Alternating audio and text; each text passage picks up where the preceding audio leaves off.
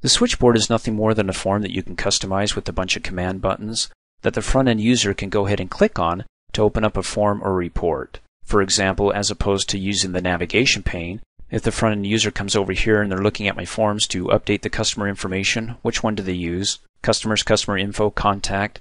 Well, unless I clearly label the forms here, they could get lost. Maybe I have one form that I want to replace another form with.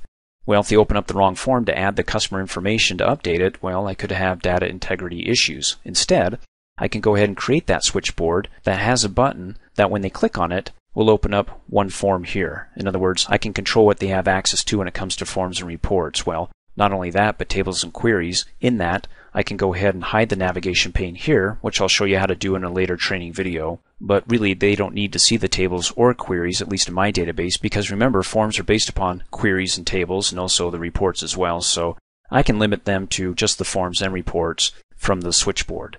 So to go ahead and create the switchboard, I want to come up here and customize the Quick Access toolbar to add the uh, Switchboard Manager command. Go ahead and right click on it, go to Customize, click on Popular, go to All Commands, and then scroll down all the way down to the S's to find the uh, Switchboard Manager, which is right there. Double click. To go ahead and select it and move it down so it's right after the Redo command. Click OK, and there it is. Go ahead and click on it. Access says, hey, we can't find a switchboard manager in the database. Do you want to go ahead and create one now? Yes.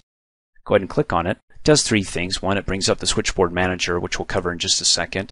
And then as you recall, the uh, switchboard manager is a form.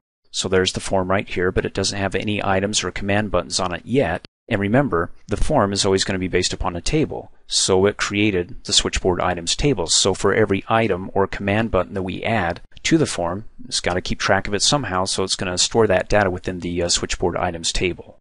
So now, back to our main switchboard we can go ahead and edit that and add the commands to it to open up, well, if we had 30 forms we wanted them to have access to and 40 reports. I mean, don't junk up the main switchboard with a, a, total of 70 buttons in this example or so many. Instead, we can go ahead and break this down and split it off from the main switchboard to, let's say, have a report switchboard and a form switchboard. Because those who want reports don't need to look at forms, and those who want to look at forms don't need to see the reports. So I don't need to junk up the main switchboard what I can do is I can create two additional switchboards that I could go ahead and have it link or have them obtain access to those other switchboards from the main switchboard here. So to create those additional ones, go ahead and click New.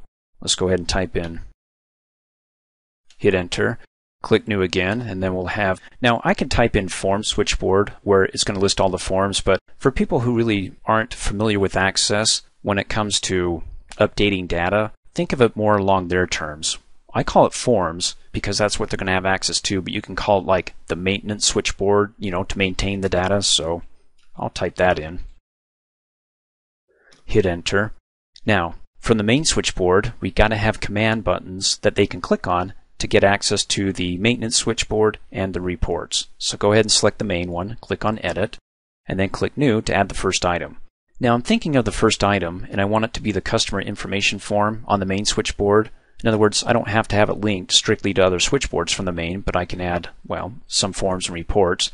The reason why I'm thinking about the customer info is that that's what our front end users do most of the time is adding new customers. So instead of having them to go through the main switchboard to the uh, maintenance switchboard that contains that form, just have it right on top of the uh, main switchboard. Okay. So it's the customer info and when they click on it, I don't want them to go to another switchboard, but instead to go ahead and open up a form, you can open up a report. Well, you got other applications and macros, but notice it doesn't list tables or queries. And for the sake of this training video, we're just going to go ahead and open up a form or a report. Now, when you open up a form, you can do it one of two ways. You can either open it up in add mode, which means that you're adding a new record, or in edit mode, which displays all the records that are available, and then you can go ahead and find the uh, record that you want to edit. So for customer info, we're always adding new customers, so we'll just say go ahead and open up an add mode. Which form is it? Well, it's going to be the customer info form. Click OK.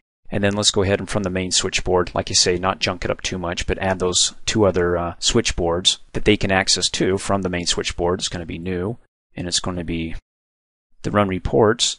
Go to the switchboard. It's going to be the uh, report switchboard. Then we'll go ahead and click new again, and we'll call this the maintain data switchboard. So we'll go to the maintenance switchboard, click OK. And let's do one more. Click New. We're going to go ahead and select Exit Application that way. When they're done with the database, they can go ahead and click on this button. It'll close the application but not the program. Click OK. So now from the main switchboard, we have command buttons that when they click on it will take them to the customer info form, the report switchboard, the maintain data switchboard, and then of course to close the application. So we want to go ahead and close out of here. And once we take them down to the maintenance switchboard and report switchboard, we want to be able to have items there that they can click on to, you know, open up the forms in the maintenance switchboard and open up reports. And not only that, but to link it back to the main switchboard. So when we're done with our reports and we want to go back, we got to have a button that takes us back, right? Otherwise we're stuck. So I'm going to go ahead and select report switchboard, click on edit and add some items here, click new. Category sales, click on the drop down arrow. We're going to open up the report here. Click on the drop down arrow and it's going to be the uh, quarter one category sales. Click OK. Let's go ahead and click new again. Final report. It's going to open up, a course, report and it's going to be the final report for quarter one. Click OK. And then, of course, we need a button that takes us back to the main switchboard. So when we're done with our reports and we want to go back to the main and from the main to get to the forms, let's go ahead and click New.